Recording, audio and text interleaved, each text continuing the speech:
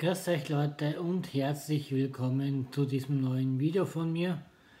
Heute mal ausnahmsweise am Sonntag, weil ich die letzten Tage keine Zeit gehabt habe. Privat habe ich sehr viel zum Tag gehabt. Worum geht's heute? Ich habe euch ja versprochen, dass ich euch einmal die Geschichte des Internets erzähle. Angefangen hat das Ganze eigentlich schon 1968. Da hat man versucht, dass man praktisch eine Botschaft, wenn man so haben will, an zwei weitere Computer schickt. Das ist natürlich voll und ganz nach hinten losgegangen. Die Folge war nämlich ein völliger Systemabsturz. Erst 1973 ist das Ganze ins Rollen gekommen. Aber was ist das Internet? Für uns Endverbraucher ist es ganz einfach ein weltweites Netz. Aber denkste, es ist noch viel mehr. Technisch erklärt ist es nichts anderes als wie ein Zusammenschluss von Computern, die weltweit verstreut sind und miteinander kommunizieren. Jetzt ist es aber so, dass sich das Ganze noch viel, viel weiterentwickelt hat und man natürlich auch über, so wie ich jetzt dort mit euch über, die, über einen WLAN-Router und über andere Daten-, Ein- und Ausgabegeräte spreche.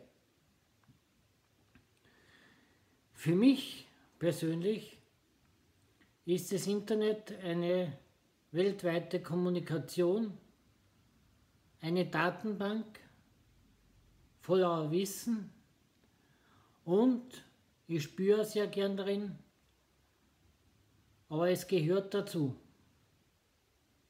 Ich habe jedoch äh, die Welt ganz anders kennengelernt, wie die Leute vor dem Internet.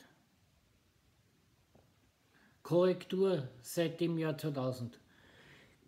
Ich bin 1980 auf die Welt gekommen und ja, es war das Jahr, in der die Zeitumstellung eingeführt wurde.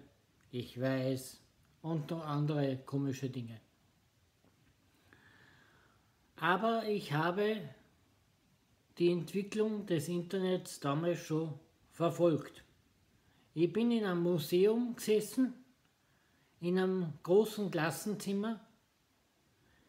An der Wand war eine zweidimensionale Weltkugel und ein Countdown. 1995 hat es dann Kassen aufgepasst, der Countdown läuft. Wenn der Zähler auf Null steht, gibt es ein Signal und dann geht es einmal alle rein. Es wurde mir vorher erklärt, was ich machen muss. Und ihr könnt mir glauben, die Geräte von damals sind langsamer gewesen als meine Schnicke. Und das mag schon einmal was heißen. Und alle haben sich dann gefreut. Das Internet selber ist jedoch eine Waffe. Und zwar für die Leute, die andere mobben. Cybermobbing. Aber das hat es damals nicht gegeben. In der Anfangszeit des Internets hat man einen Computer braucht, der 700 MHz hat.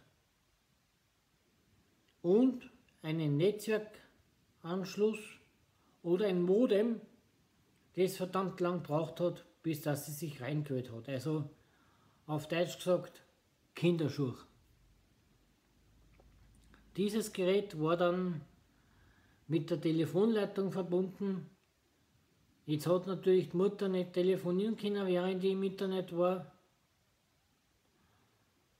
Und es hat sich alles rasend schnell entwickelt. Die Entwicklung des Internets habe ich euch natürlich auch noch unten in der Infobox verlinkt. Da könnt ihr euch das Ganze mal anschauen.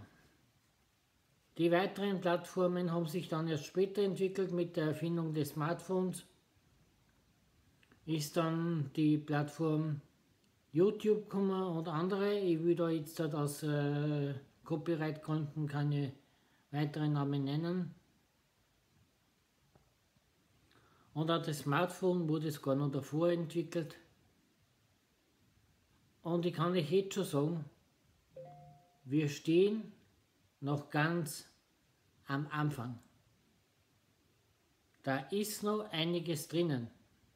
Wir können jetzt sogar schon mit einer VR-Brille über eine Konsole, die mit einem Router verbunden ist, ins Internet. Und das mag schon mal was heißen.